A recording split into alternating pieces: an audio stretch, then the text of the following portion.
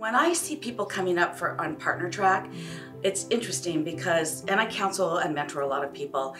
Um, there's not all the time, but often this discussion I have with some of the Asian associates, right? And I say, listen, you were told be a good student, get good grades, behave yourself, you know, um, do all these things, and and you know the world will be right. I said. And honestly, the world was right because that's how you got here.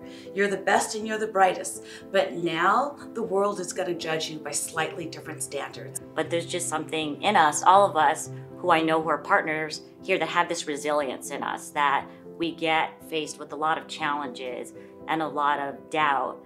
And I can speak for all of us is that I know that we all have a lot of war scars because to get to where we are at our firms and become partner, we had to go through a lot. I just know that. That's that's that's pretty It's a inherent. precedentary. Yeah.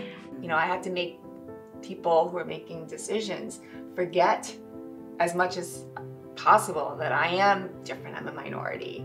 You know, the more that I, I covered those aspects of myself, uh, the more, you know, I could find success. Whereas now with, you know, more partners, more Asian American partners being Mhm, made, I think they can be more authentic. yes, try to be your authentic self, but then yet we're covering and bending. So at a certain point, you have to kind of have this internal discussion with yourself of who are you, right? And it's it's sometimes it's a painful and emotionally difficult conversation to have. My first law firm, I had a partner come into my office every Pearl Harbor day, knock on my door and just say, Hey, John, I just want to remind you today's Pearl Harbor.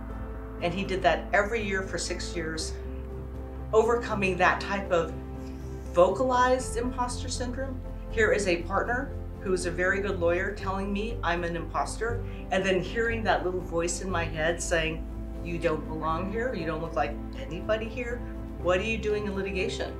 You should be this quiet Japanese girl who serves tea or whatever. The funny thing about finding our voice and owning our voice now is that it's a process. So I'm sure all of us, we had to put in our time. So lots of hard work, lots of sacrifice, because when we walk in the room, we don't get the automatic credibility. It's actually, we're at a disadvantage, I would say, where we might have all these things like unconscious biases and things of, you know, perceptions that are already, you know, attributed to us that's unfair. what and, and the show kind of touched on this. If you watch the netflix show there's a difference between what a white man had to do to make partner at a large firm versus what all of us in this room had to do to become partner at a large firm. And it's a much higher threshold. And that goes back to my upbringing. You know when i was trying to figure out how to assimilate in Grand Forks, North Dakota. And I remember my father said, You just have to do everything 10 times better than that blonde haired, blue eyed kid sitting next to you.